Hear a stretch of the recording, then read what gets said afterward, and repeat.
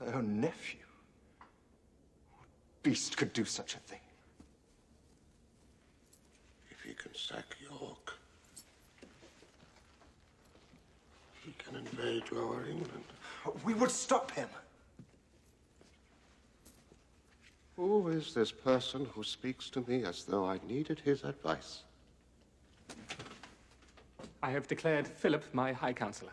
Is he qualified? I am skilled in the arts of war and military tactics, sire.